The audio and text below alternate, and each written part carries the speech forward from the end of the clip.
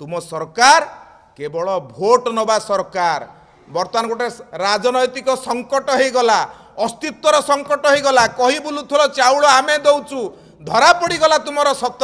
ଚାଉଳ ତମେ ଦଉନ ଚାଉଳ ବର୍ତ୍ତମାନ ପୁରାପୁରି କେନ୍ଦ୍ର ସରକାର ଦଉଛନ୍ତି ତୁମର ଟଙ୍କାଟେ ନାହିଁ।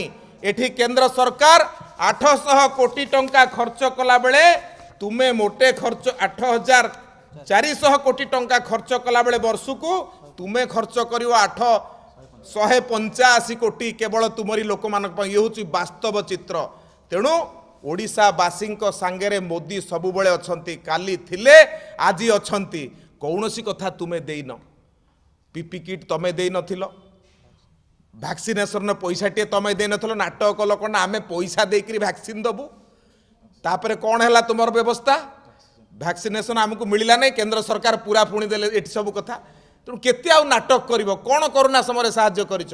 ପିଏସ୍ୟୁ ମାନେ ପଇସା ଦେଲେ ରୋଗୀମାନଙ୍କୁ ପେମେଣ୍ଟ କରାଗଲା କେନ୍ଦ୍ର ସରକାର ପଇସା ଦେଲେ ଟେଷ୍ଟ ମାଗଣାରେ କରାଗଲା କେନ୍ଦ୍ର ସରକାର ପଇସା ଦେଲେ।